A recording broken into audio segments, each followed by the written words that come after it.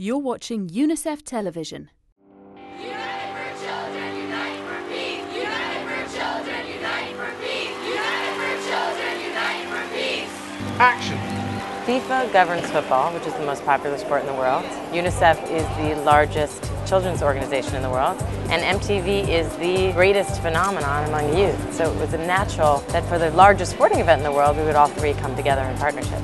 MTV and UNICEF have worked together for a long time. It actually started back in 1997 when they first started to get, get involved in the World AIDS campaign. We often get sent UNICEF's PSAs to put on air on MTV. When we spoke to them, we said it would be great if we could actually use our creativity to help UNICEF um, with their amazing lineup of talent and see if maybe we could match the two together. MTV, UNICEF,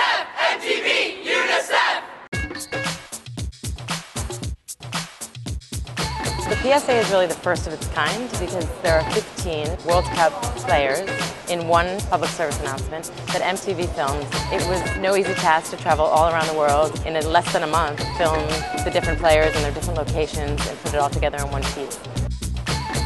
Shooting schedule's been fairly crazy, really. In order to get the time with the players, it's been important to fit in with their working schedules, which is obviously very hectic. We've taken about 10 days to do um, South America and most of Europe, so uh, it's been fairly exhausting, but very worthwhile. I think we've got some great stuff. If you look at the football talent that you've got here, you've got David Beckham, we've got Didier Drogba, we've got Paolo Wanchope, Thierry Henry. So if you look at that, it's going to attract our Nickelodeon and MTV audience to watch these spots and hopefully learn from the message.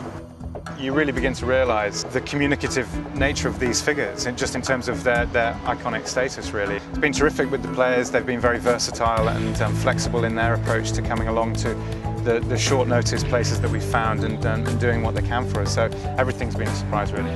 Rick,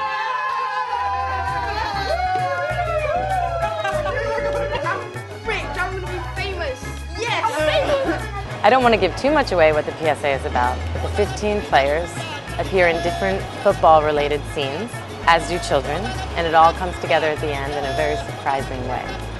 Wherever we've been around the world, you always come across, whichever location you're in, whether it's back streets of cities or down at the local park, kids, whatever sex or age, are playing the game and everybody understands how it works. That's the unifying element to the whole thing, really.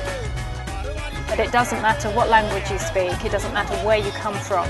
You can stick a kid who can kick a ball on a beach, on a street, or on a football pitch with another group of children who they've never met before, and they can all play together and they play as a team. And that to me is the most amazing thing about football.